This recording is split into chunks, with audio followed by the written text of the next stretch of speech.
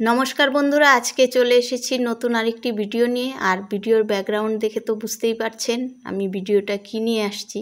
তো ভিডিওটাতে অ্যাস্ট্রোলজি বিষয়ে বিশ্লেষণ থাকবে, কি কারণে এই দুর্ঘটনাটা ঘটেছে বা এই বিপর্যয় ঘটেছে আমাদের পাশের স্টেট সিকিমের ঘটনাটা। তো এটাই আমি আজকে আপনাদের সঙ্গে শেয়ার করব। তো ভিডিওটা শেষ পর্যন্ত দেখবেন আর আমাদের এই সিকিমবাসীর জন্য প্রার্থনা করবেন। কমেন্টে গুরুর নামে প্রার্থনা করবেন যাতে তারা সুস্থ, স্বাভাবিক থাকতে পারে। আর এই ভিডিওটা আমার একজন নিজস্ব মানুষ পাঠিয়েছে যে কিনা ঘুরতে গিয়ে আটকা পড়েছে। তো আজকে আমরা আলোচনা করব কেন এই দুর্যোগটা ঘটলো? তো ওই দুর্যোগ সম্পর্কের আলোচনা আমরা জ্যোতিষী কয়েকজন মিলে আলোচনা করেছি। এর মধ্যে আমার গুরুজির কাছ থেকে আপনারা শুনে নিন। এই বিষয়টা কেন ঘটেছে? আমার গুরুজির মুখ থেকেই আজকে আপনারা শুনে নিন। তাহলে চলুন গুরুজির কাছ থেকে শুনে নেওয়া যাক। নমস্কার বন্ধুরা। এই যে ঘটনা ঘটলো, সিকিমে জল বেড়ে গেছে অনেক তিস্তার তিস্তা নদীর, খুবই দুঃখজনক। অনেকজনের ক্ষতি হয়েছে, প্রাণ ক্ষতিও হয়েছে।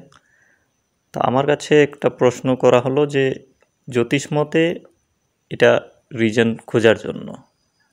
আমি খোঁজার পরে এটাই দেখি, এই যে মঙ্গলের ট্রানজিট, রিসেন্টলি তিন তারিখ হলো মঙ্গল আর কেতু খুবই কাছাকাছি হওয়াতে আর যুক্ত হওয়াতে এই ঘটনা হওয়া আমি মানি। যেহেতু মঙ্গল কেতু যুক্ত হলে হঠাৎ করে অনেক দুর্ঘটনা ঘটে যায়। আর এখন মঙ্গল আর কেতু দুটোই চিত্রা নক্ষত্রে আর খুবই কাছাকাছি। মঙ্গল জিরো ডিগ্রিতে, জিরো পয়েন্ট টোয়েন্টি ফাইভ আজকে দেখলাম।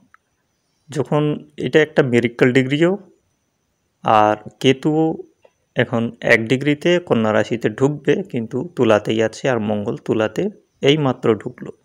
খুবই কাছাকাছি হওয়াতে এই ঘটনা ঘটলো। জ্যোতিষ মতে আমি এটাই বিবেচনা করি। তাহলে বন্ধুরা শুনতেই তো পারলেন কি কারণে এই ঘটনা ঘটেছে। তো আজকের ভিডিওটি এই পর্যন্তই, আর আমরা সবাই সিকিমবাসীর জন্য প্রার্থনা করব ভগবানের কাছে। কমেন্টে হর হর মহাদেব। জয় বাবা লোকনাথ লিখে।